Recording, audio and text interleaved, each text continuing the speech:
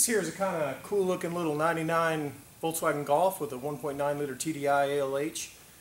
Uh, it is a good looking little car for a 99. It's got some fancy wheels on it make it look, that makes it look real good. And customer's complaint is the check engine light was on. Let's scan it and see what it needs. So here's the auto scan. Has 17656 start of injection timing regulation P1248 control deviation. Basically that means it's a timing problem. So we'll check the timing real quick and I think there's some other checks we can do real quick to uh, see what's going on there. To check injection timing on VAGCOM, you go into the engine computer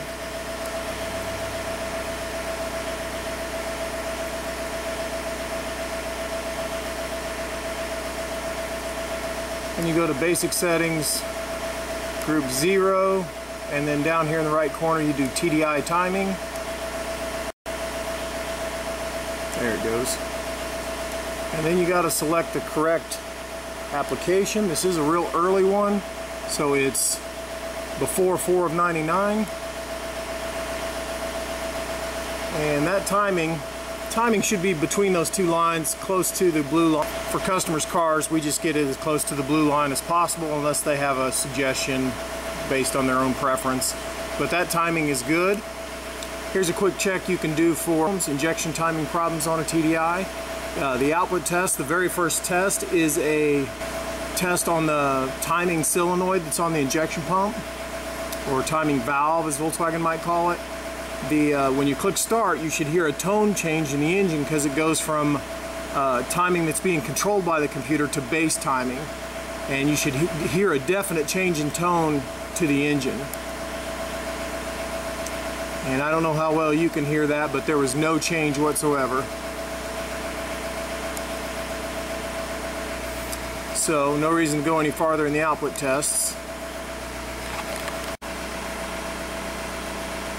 Now if you don't have VAGCOM, there's a second way to see if your timing is working, uh, at least partially. You can pull the fuse that powers the timing solenoid on the injection pump and listen for the change in the tone of the engine. And I'm going to do that for you now. On ALH cars, it's fuse number 34. Now that fuse also powers some other devices, so it's going to trigger some trouble codes like solenoid trouble codes and things like that but uh, fuse 34 is one, two, three, four, the fourth one down in the middle, and we should hear a a definite clatter change to the tone of the engine.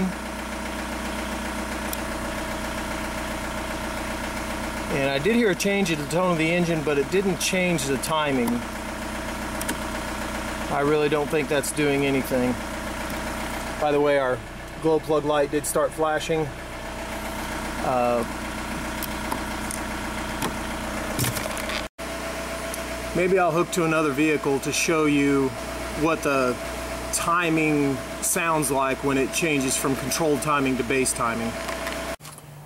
Okay, I wanted to show you a like car. Uh, this is another ALH car. It's not an early one like this one, but it is the same motor, ALH. And I'm going to show you how when you go to basic settings, you can hear a timing change in the motor. It's a red car. I just want there to be no confusion that I'm not doing it on the same car. Uh, this one's a Golf. and this one's a Jetta with a trunk. Hopefully you can hear the tone of the motor. I am actually have this car parked underneath another one, so we are underneath here.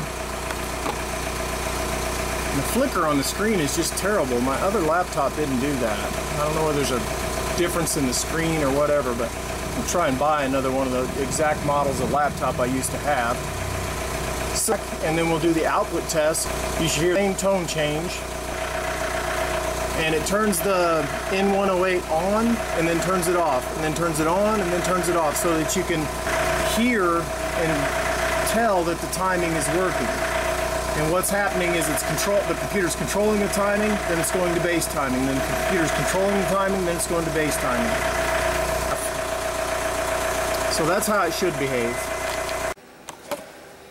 If you want to learn more about the operation of the injection pump, I feel like I'm pretty confident on injection pumps, but you need to read this. It's a, a Bosch technical instruction for VE style distributor fuel injection pumps. And most of it is talking about how a uh, IDI pump works but the end has a little section on TDIs and the TDI is so much simpler than the um, IDI with regards to the injection pump that it only requires a short section because most of it's the same. As you can see here this is an IDI injection pump this is a TDI injection pump. Most of it's the same and um, but just the control on top and some minor differences. Obviously they don't really interchange or anything but some minor differences. But you need to read this booklet. Uh, you might be able to find it on the internet as a PDF and download it but study this thing. So here's my recommendation on this Golf for the trouble code. We need to take the injection pump off the car and disassemble it to see if we can find the problem with it and fix it.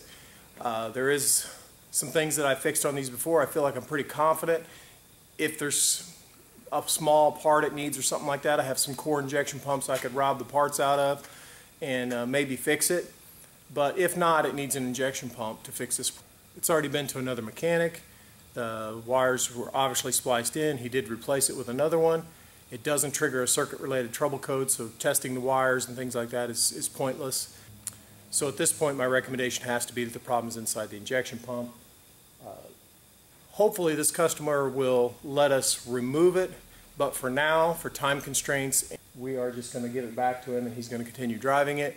And when we get time and he has money, we're going to put, uh, take the injection pump apart. Uh, sending the injection pump off to be rebuilt is definitely an option, but I don't really want to buy a rebuilt injection pump if it just needs the timing part of it repaired. Uh, so if we continue working on this car later. I will do an update video and if you like this video give me a like and subscribe at www.kansascitytdi.com.